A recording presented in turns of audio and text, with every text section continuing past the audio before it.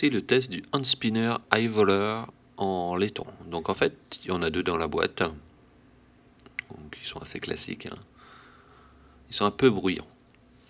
Légèrement. Donc là, on va faire le test habituel. Voir combien temps il va tourner. Donc bien entendu, je vous ai fait ça en avance rapide.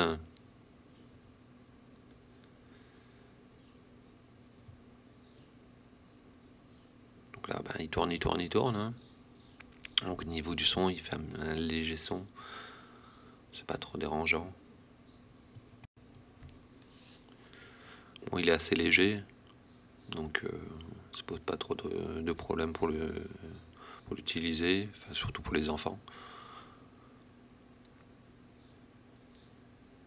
Donc au niveau de la durée, attention,